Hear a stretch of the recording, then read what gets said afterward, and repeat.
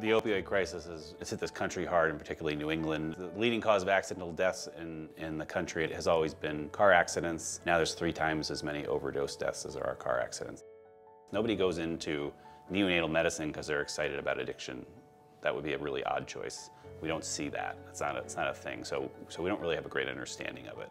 If you're in a NICU, the kids are innocent. You know, when you get to adult medicine, people do things, you know, they smoke and do things to themselves. But this is a case where the staff can say, this wouldn't have happened if this parent hadn't done this. And when your job is to protect kids, I think it makes people angry.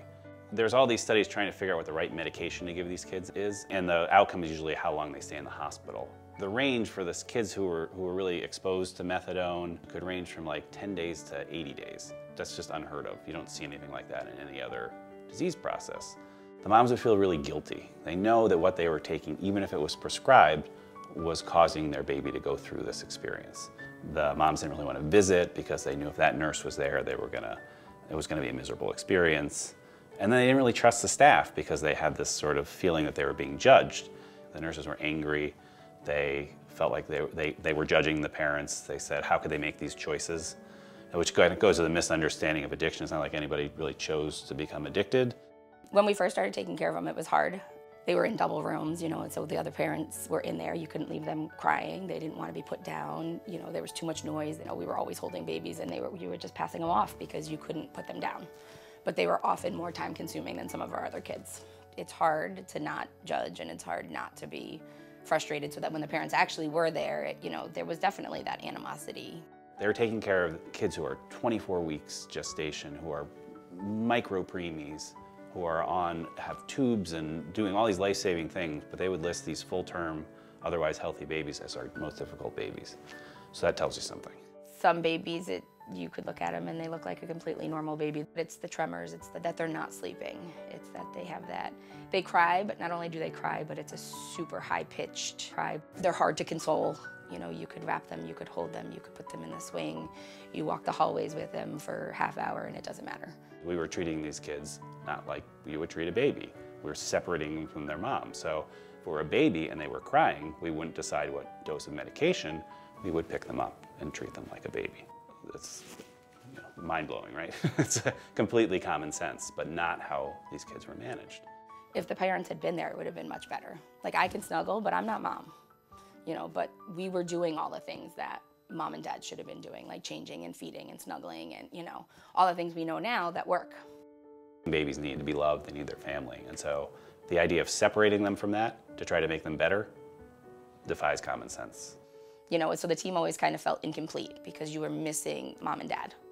And so it's really a question of, of empathy. It's easy to judge, but now we're in a world where most people know somebody who's gone through this. It's really going back to the roots of our profession, which is empathy. And everybody sort of lists as their first line approach to treating these kids is to do non-pharmacologic care, which means you hold them, you swaddle them, you feed them when they're hungry, and you try to keep the environment uh, kind of calm and dark because the kids are sort of hyperstimulated when they're going through withdrawal. We reduce our length of stay right away.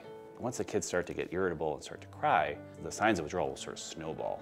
If you're a nurse and you have five patients and you're responsible for getting to that kid, you gotta give those two kids medications before you can get to the crying baby. It's gone for 20 minutes and the kid's sort of a mess. If you're a parent, you can get there in two or three seconds. And so we started to see how powerful that was. And if it were a medication, then this would be like a major breakthrough. And it was actually just the parents. If you're feeling guilty and then we're judging you and telling you that it's your fault, that's probably not helping anything. But if we're saying, okay, yes, but you're the one who's gonna fix it, that's really empowering. We've seen a, such a change in the parents, and instead of feeling like they're not welcome, that now not only are they welcome, but they are they are the heroes of the story now. We respect the parents, and they love the babies, and that's it. And that's the treatment. And our length of stay uh, for the last two years is under six days, and the national average is about 21 days. The moms were the treatment for the babies, but the babies were also the treatment for the moms. And what comes out of it is there's a dramatic benefit to everybody, and, and particularly the staff. So now suddenly it went from being the hardest kids to take care of to the easiest because the moms are doing everything. And our job is just to support them and see how do we help them because we just want to give the mom and the baby the best chance. So it is our only care, is, our, is the compassion and using the family. It's entirely family-centered care, not as a way to deliver care, it is the care. The results are uh, as dramatic as you can find. There were 64,000 people who died of opioid related overdoses between January 2016 and January 2017.